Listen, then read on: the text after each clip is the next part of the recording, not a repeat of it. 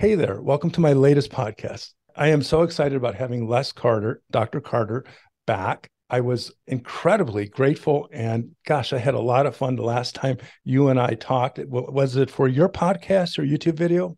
Yeah, well, I think we did it on the podcast, and and Ross, you know, I've, I've known of your work, and and uh, of course, you know, when you're on YouTube, you kind of check each other out, so that's what oh, we sure. did, and uh, it's like that's why I wanted you on my podcast because I so appreciate the work you do.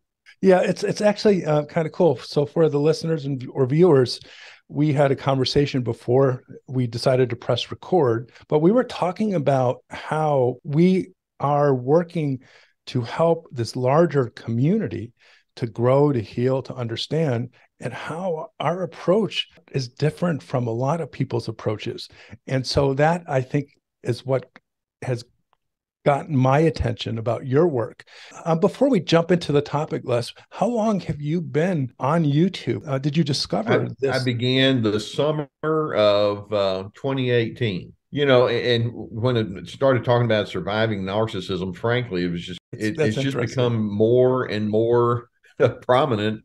And it's when you use that word narcissism, virtually everyone who hears it will say, "Oh yeah, I know somebody yeah. in my world," or "I have a leader that uh, in a group that I'm in," or then we look at politics, or we look at other kind of circumstances. They're everywhere. They're everywhere. and, and so I just began to talk on a real common sense basis about that, and it resonated and it just kind of took off and and uh, went from there and and so i'm i'm going to keep speaking into the topic until i run out of things to say which uh, may probably, may be a probably while never yeah it's, it's interesting because when i started the whole youtube thing 11 years ago when my first edition of my human magnet syndrome was put out i wanted to talk about what i do i'm a psychotherapist i like to help people heal and overcome the problem that they have that draws them into these relationships with narcissists. And I noticed that all of the videos that I did on narcissists, and this is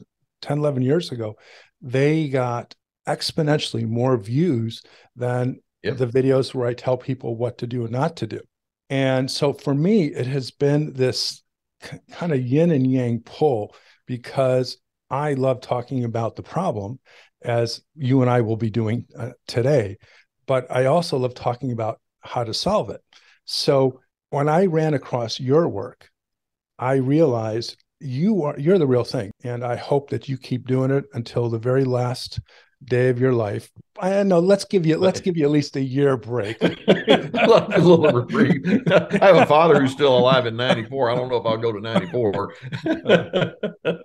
So, so do you want to introduce the topic that we were that we're planning on talking about? Well, you know, you and I were talking about how uh, this this whole thing about understanding narcissism can become so difficult when you're, let's say, in a post divorce situation, yeah. And you're trying to figure out how to uh, to to parent kids right in such a way that they're not going to be damaged but then I, i've had so many cases where one parent uh, really wants to be fair and uh, you know have have the proper kind of teaching and boundaries and and all like that, and the other just will sabotage it. Yeah. and and basically they uh, that that uh, less than healthy parent can bring all of the difficulty that uh, contributed to the downfall of the marriage and bring it into the uh, the co-parenting uh, arena and it's it's really difficult and frankly the greater amount of work to help smooth it out is going to be on the shoulders of the more healthy person exactly. even though the unhealthy person is the one that really needs to do the work and it, it's it's not at all an easy task no and and it's actually perhaps the most difficult task uh, that the recovering codependent or what i call an sld or self-love deficient i want to change the word codependency to self-love deficit disorder but whether I do or not, I'm going to stick with my terms. But it is. Well, I, I, think you're spot on with that self love deficiency. Absolutely. I thank you. I think so. This way, we call it the name that it is and not some antiquated term that comes from uh, some ancient understanding of alcoholism and a partner of alcoholism. I have, from the very beginning, understood the interaction of the needs of the narcissist, um, although pathological, and the needs of a recovering SLD when they break up. In fact, I just submitted an article, which is really part of my new upcoming book, where it says the 15 strategies narcissists do when ending a relationship. And so let's share what we know so we can help others either prepare, which is my approach, my strategy, if I if I'm given an opportunity, or survive. Let's first talk about the terms. Parental alienation. Let's kind of define that and the other terms that you and I talked about. So why don't you start that off there, and and I'll I'll chime in. Well, and by the way, um, there's uh, there are a couple of books uh, that would be very interesting for people. One is called Divorce Poison, and then um, uh, and that's a gold standard book. And then another one is uh, Judith Wallerstein, uh, Second Chances, and uh, she did like 25 years of follow up study with children of divorce. Right. And one of the things that they found is that you can have a certain percentage of parents who are post divorce who make it their task to train the children to hate the other parent in the same way they do. Now they won't say it like that, but that's the, the net result. And you know, for example, uh, I've had cases where let's suppose you have a 13 year old child that's visiting dad, right. and then dad gives that child a gift. And so the child goes back to mom's house, and uh, the gift is um, uh, confiscated. It's right. like we don't need that here, or you already have one of those, and, and little things like that. Or uh, these days, uh, you know, things like uh, having a cell phone or how much time you spend on the computer. And uh, there's there's no effort whatsoever to coordinate. It's like no what i'm going to do is i'm going to tell you the way it's supposed to be. And if that other parent won't coordinate with me then they're an idiot and you need to uh, you need to know how terrible they are. And and, and it's it's uh, terribly devastating because the only person in that equation that's really going to be damaged is is not mom and it's not dad it's going to be the kid. Yeah but narcissists uh, I, I, when you talk about having self-love deficiency i yeah. actually have um, have spoken about narcissism as being the absence of love Interesting. And uh, that's that, that's a succinct um, definition that I have. Or another is narcissism can be defined as the uh, the loss of integrity. Interesting. And uh, it can play out in uh, the the way we parent. And so many times, rather than mom and dad uh, saying, "Okay, our marriage didn't work out," I understand. And, and, by the way, there are times when it, it's reasonable to go ahead and get a divorce, not because divorce is wonderful, but sometimes marriages can be dysfunctional enough to where we don't need to to, to perpetuate it. Uh, I think we need to be judicious. But you know, uh, mom and dad at that point would need to say, uh, why don't we? Uh, at, at the very least, uh, as we split, let's make this as um, as uh, beneficial to the kid as we possibly can. And uh, even mm-hmm. though we may differ, let's show honor and regard toward yeah. the other parent to the child because that's going to benefit the child. And uh, they're, they're actually, I mean, Judith Wallerstein actually shows that when you do that, uh, then uh, you can have good results. Perhaps about a third of them, uh, based on her research, are going to be damaged because the parents just simply can't go that path there's so many things you said that are so important. First, the term parental alienation. To understand it, you have to understand the, the, inner workings of a narcissist. You know, as as we know, they have a personality disorder. So when there is a divorce, there is what I call the supreme mother of all narcissistic injuries. If you stand up to disagree, set a boundary, a narcissist has a narcissistic injury, which is a um, reflexive rage response that requires the narcissist to punish the person, whether they realize it or not. So, if the divorce is the mother of all narcissistic injuries, and the narcissist is unable to take responsibility vis a vis their personality disorder, then they are going to feel righteous and empowered to punish their spouse, their partner, and through this rage and this narcissistic injury, they are going to execute sometimes systemically, sometimes reactively, this plan to punish them. And the best way to do that is to claim ownership of the children and to understand why they can destroy the children in the process is because at the core of all pathological narcissists, and my belief is this fury of rage and shame born out of their childhood experiences. So, this rage and fury that they're not connecting to is directing them to punish the person that they believe is hurting them to gain ownership of the objects, their children. Well, and I'm, I'm tracking with you, Ross. Uh, one of the things that um, that I I, a starting point that I have as I try to understand narcissists is they're they're people in a lot of pain. Mm-hmm. Uh, just as you said, they they started out early on in life having to to gauge, you know, their authorities and peer group. If I say this, am I going to get in trouble? Uh, if if you find out these things about me, are you going to judge me? And so when we talk about shame and guilt and fear, yeah it, it all comes from them being exposed at a very um, vulnerable age to a whole lot of conditional acceptance, a lot of that condescension, and uh, and you know problems are, are not solved in a clean and logical kind of way, and so they bring the pain that's associated with that into their adult years, and then like you say, when a divorce happens, they're still in pain, and the divorce is a painful situation. And so that's what informs the way that they engage with people. Yes. Uh, whereas uh, when we try to in, uh, help our children, one of the things we want to do is we want to think, wait a minute, I remember what it was like when I was a child and uh, and I know that I wanted to be treated with regard, and I wanted somebody to say, "What do you think?" or at least uh, yeah. give consideration or empathy to what I was feeling. Narcissists, the pain is so strong, and their shame and their fear and their dysfunction is just so self-defining that they're not able to go into that space. The child is the one that's going to be uh, the recipient of the the brainwashing that goes along with all of their internal uh, turmoil. So the pain that you're talking about, um, I look at it from more of an attachment psychodynamic point of view. Is that you know children, uh, all advanced mammals require safety, nurturing, attention. Yes. Um, in order to develop normally. And a human needs unconditional love, safety, and all that. And if they do, they they become healthy. Healthy is they survive and flourish in their life.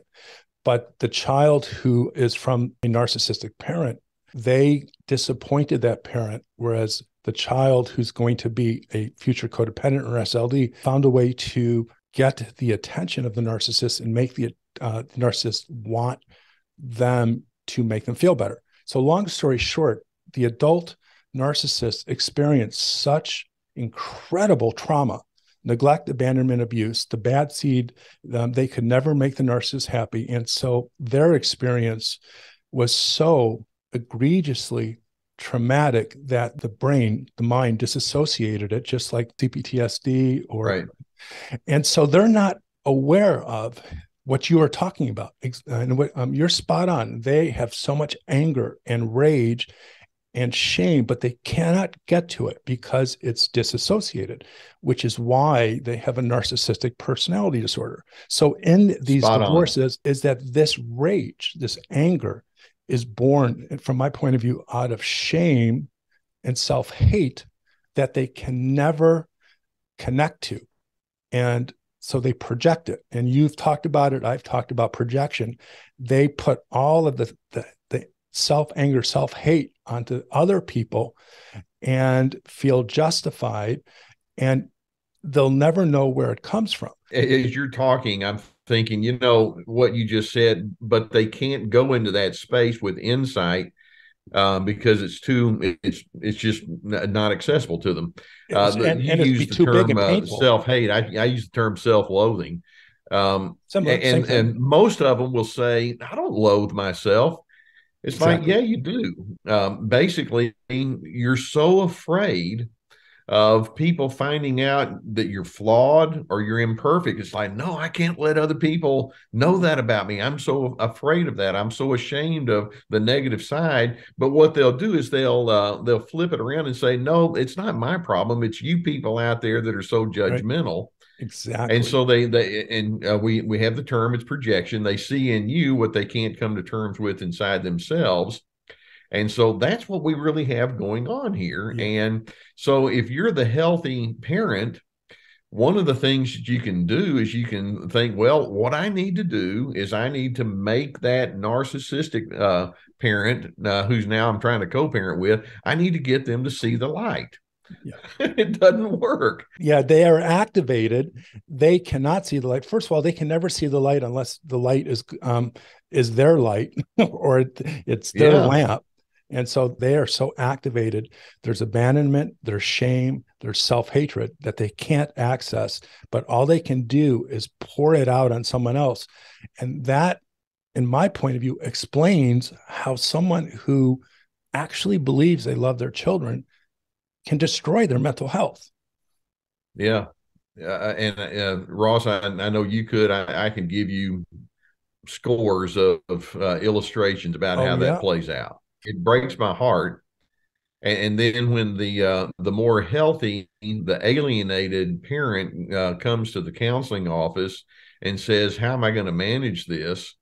Uh, it's like, well, what you can't do is you can't control someone who who has no insight they're just gonna they're just kind of like the old the proverbial bull in the china shop right uh, so what you can do is when you have your moments of influence you uh, you illustrate what healthiness looks like. Right. And sometimes it, it works out. Other times the uh, alienating parent is so quote successful in uh, in building that wall yeah. uh, between uh, yourself and the child that uh, that you're somewhat limited, and that's what makes this such an insidious kind of a situation. When the child thinks I can't show loyalty to my other parent okay. because this narcissistic parent is going to get mad, and so they uh, they wind yeah. up uh, just uh, being guarded around the healthy parent.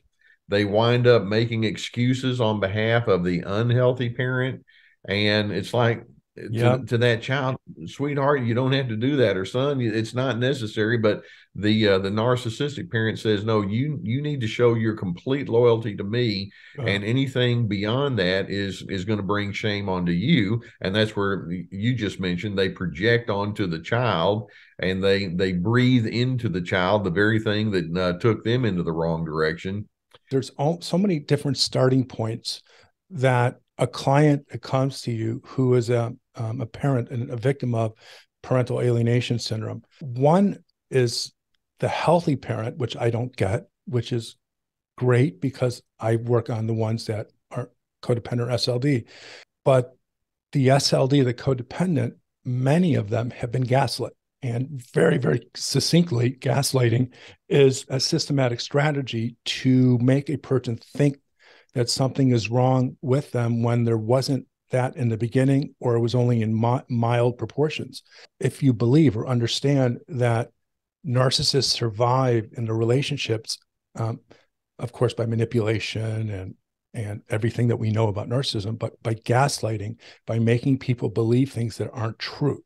And that is an essential concept to understand if there is a child who has a really good, solid attachment to the SLD parent, and the narcissistic parent starts to try to gaslight them or demean or, or alienate them, it's a different scenario versus what I see as the more typical type of child who has never gotten the love, respect, and caring from this narcissistic parent who all of a sudden claims that they do and wants to, and the other one doesn't. If they have been around gaslighting, if they have been gaslit, it means their reality has already shifted towards the type of thinking of the narcissist.